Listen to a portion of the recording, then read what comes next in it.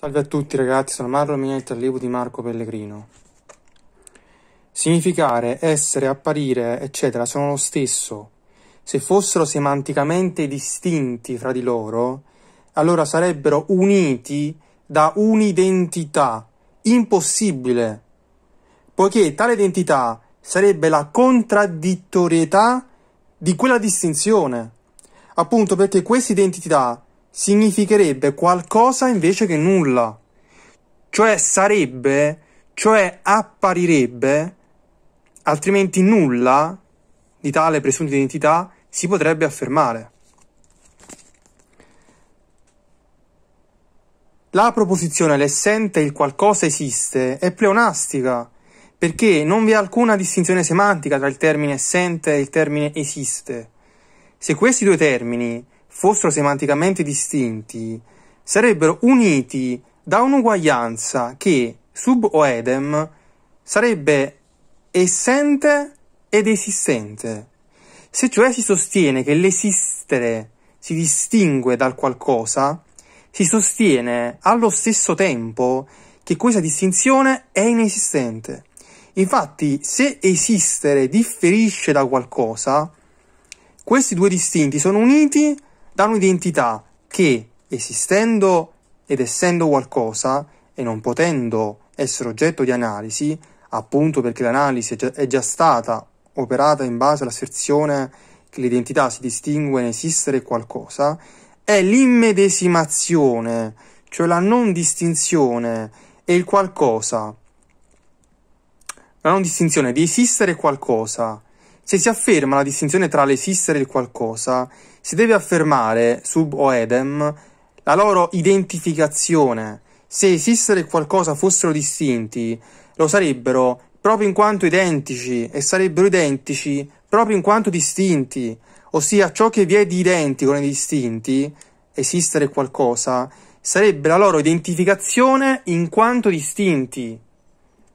Quindi l'essere è l'autoguaglianza assoluta che si distingue relativamente in se stesso principio di non contraddizione. L'essere si contraddice relativamente, vedendo tutto se stesso e capendo, in quanto egli stesso è la conoscenza stessa, è il sapere stesso di non essere il nulla assoluto, che è inconcettualizzabile, a differenza del nulla relativo, che è presente all'interno della coscienza totale dell'essere, di non essere il nulla, appunto. Quindi, principio di non contraddizione, il tutto si contraddice relativamente, per non contraddirsi assolutamente. È, la, è proprio la, il fatto che l'essere si distingue in se stesso, la vera opposizione al nulla. Al nulla assoluto, ma come? Attraverso la coscienza, la consapevolezza del nulla relativo.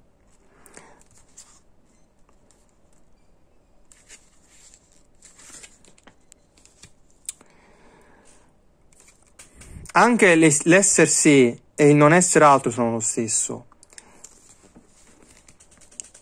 Allorché si afferma che l'uguaglianza fra l'essere sé e non essere altro è sia un essere sé che un non essere altro, si intende tale uguaglianza come un termine non analizzabile. E quest'ultimo termine è, si sta dicendo, essere sé e non essere altro. Pertanto l'uguaglianza che si differenzia in essere sé e non essere altro non può esistere, dato che quel che vi è di uguale nel differente è l'annullamento della differenza collocata fra i differenti e quindi l'annullamento stesso della uguaglianza concepita come differenziantesi in essere sé e non essere altro.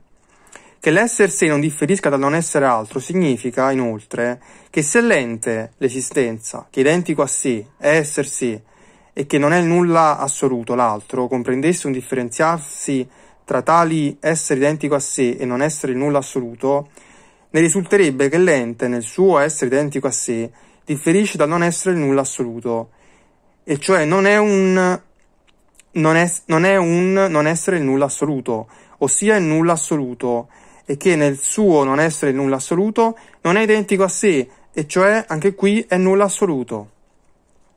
Si tratta dunque di comprendere che l'essere uguale a sé, l'essere sé dell'essente, è il suo essere non nulla, il suo non essere nulla essente, il suo non essere non essente. L'unica differenza rilevabile è appunto sempre quella tra l'essente e il nulla, cioè tra l'essere e il non essere, ossia tra il sé e l'altro. L'essente è uguale a sé, ossia è non nulla, e cioè è identico al non essere il nulla. Il suo non essere l'altro da sé. Non sussiste alcun differire tra essente e non nulla. L'unica differenza è tra l'essente e il nulla. Dunque, esistere, essere sé e non essere altro hanno lo stesso significato. Esistenza, positività, essente, essenza, sostanza, forma, ente, qualcosa, cosa, essere, essere sé,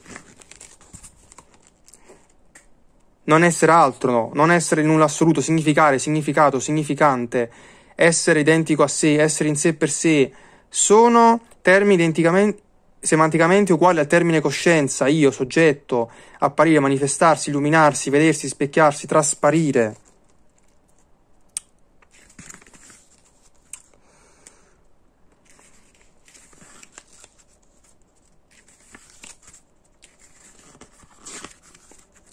La coscienza è l'assoluto, ma da ciò non consegue che nella coscienza non appaia alcuna incoscienza.